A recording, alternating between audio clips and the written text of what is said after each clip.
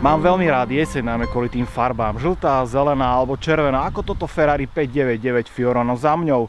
Čo poviete na malú prechádzku? Troška si vypočuť ten 12 válec spriahnutý s prevodovkou F1. Naozaj také pozvanie sa neodmieta.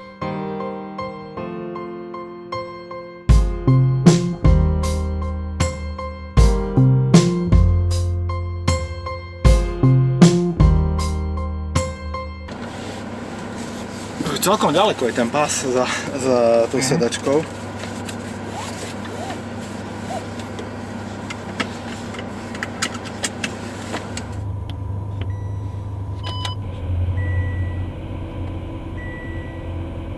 Prvýkrát sedím v tejto 599 GTB alebo v podstate takomto GT Ferrari. Sa snažím tak navnímať všetky tie veci, ktoré, ktoré nás obklopujú. Ako to auto znie, ako radí. Najlepšie, to došlo na kamióne, ktorý bol meter a pol nad zemou. Pýtam sa, kde je to Ferrari. Tam ho máte hore na kamióne. A hovorím, jak si mám teraz tej zlušiť dole? Však s tým vozíkom si behnete dole, dajte si takto riešenie. Ja hovorím, ste normálne.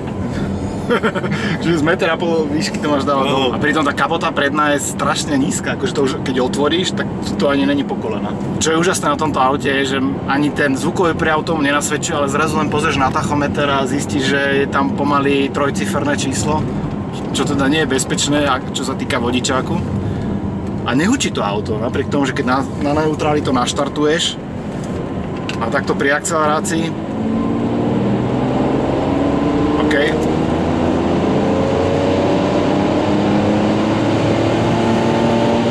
konštantný ťah, tlak do sedačky. Wow. Žiadna turbodiera. Nič, nič. A pritom čo sme ešte na 3000 otáčkach, akože pff.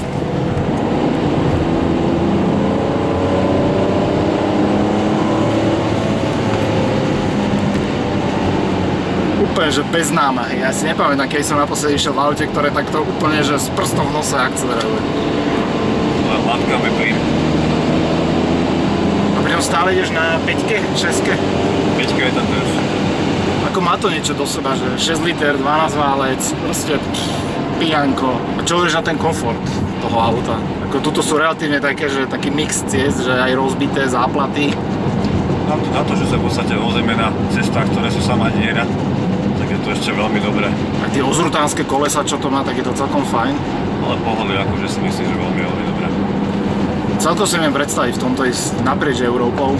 Tie sedačky ináč, počuje samý karbon z boku, spredu, akože úžasné a pritom sú fakt pohodlné, nie sú to žiadne také škrupiny tie závodné, čo poznáme. A strašne sa mi ľúbia tie spätné zrkadlá, tie na tých dvoch tykadielkách, také typické pre Ferrari, taká slzička len.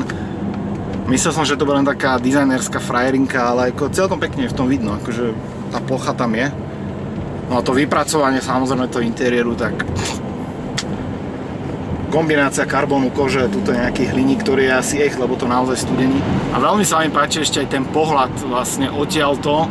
A neviem, či mi to pripomína tie klasické staré Porsche, že tie blátniky s tými svetlami a v strede samozrejme je ten, to vydutie, vydutie kolí motoru, ale tie blátniky sú naozaj krásne. Viem, čo mi to pripomína, Škodu tisícku. Ale jedna vec ešte tu taká by ma hodne, hodne stresovala na tom aute, že teraz nie si obyčajný účastník e, premávky, pretože musíš dávať pozor aj za tých ostatných. Keby niekto ti nedal prednosť z boku, alebo niekto nedobrzdí zozadu, o to viac by ťa Napríklad na voľakov taxikára, ktorý sa akože snaží už 10 km za nami a silou moci sa nás snaží predbehnúť, aby nám dokázal, že Citroen asi lepšie ako Ferrari. Tak áno, to sa o Citroenoch bežne hovorí. Áno, vidím ho. vidím ho, je tam, je tam stále. To som si všimol hneď, sme prišli na cestu a to už je dobrých 10 minút. Toto je vlastne ten automat F1, robila sa aj verzia s manuálom. Asi si neviem celkom dobre predstaviť v tomto aute mať manuál, pretože pre mňa je toto pohodlné GT na dlhé cestovanie a nechcel by sa mi brať ešte tam miešať varechu. A toto je ešte krásne, to som zabudol. V spätnom zrkadle, ty si všimol tú tú plutvu vlastne, čo je e, na každej strane. Ale keď otvorím okno, tak akože kultivované tiché auto. Žiadne hučanie z výfukov. Ináč zaujímavé bolo, že keď si to naštartoval, tak prvotná sekunda bola taká hlučnejšia, potom som počul, ako keby tam vnútri pre, e, prepli klapky a zrazu pff, úplne tichý. toho, jak máš nastavené, na ktorom režime. Momentálne ideme na režime sport. Určite verím tomu, keby sme to dali do režimu race, to zaspravá asi inak.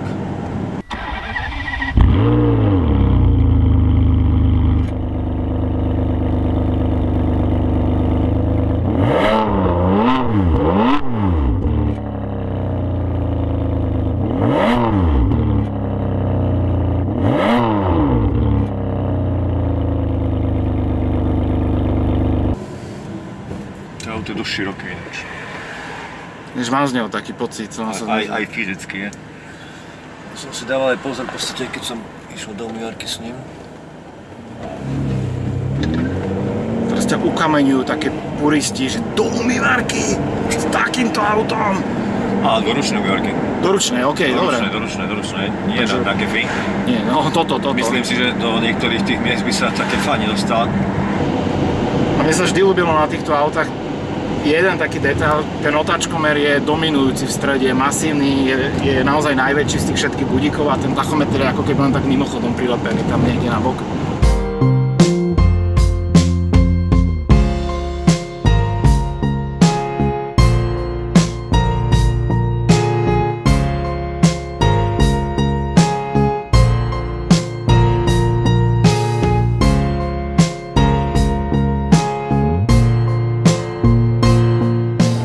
Na záver ešte posledná vec a to je tá, že chcem poďakovať veľmi pekne majiteľovi tohto auta, že nám vôbec umožnil natočiť tento dnešný príbeh alebo príspevok.